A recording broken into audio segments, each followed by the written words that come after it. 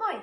Mun nimi on Ella Savalainen, mä oon 16-vuotias tyttö Kuopiosta ja tällä hetkellä mä opiskelen Kuopion taidelukio Lumitin tanssilinjalla.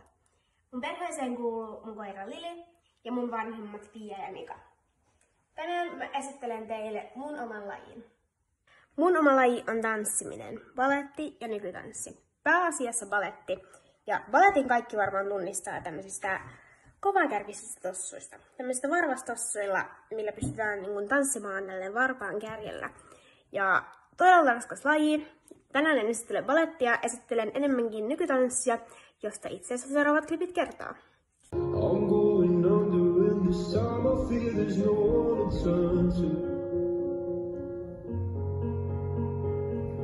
This all and nothing way Oh, I need somebody to know, somebody to hear, somebody to have, just to know how it feels. It's easy to say, but it's never the same. I guess I to let the way you help me escape.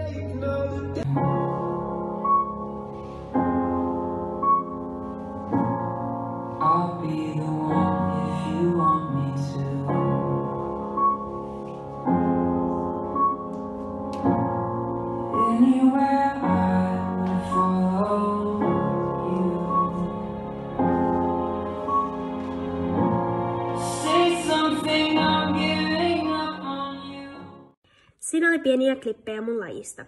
Mä en siis itse oli ortodoksinen, vaan evankelisuterilainen, niin kuin mä aluksi kerroin, mutta mun todella moni kaveri on ortodoksinen.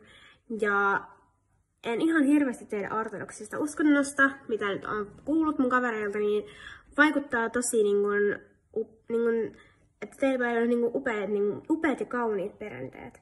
Tai mitä on vaikka kuullut niin kuin mun kavereiden omista, onko se krippaa, olla, kripoista, niin ihan mahtavalta kuulostaa. Pitäisi tutustua enemmän. Mutta kiitos kun katsoitte mun videon. Moikka!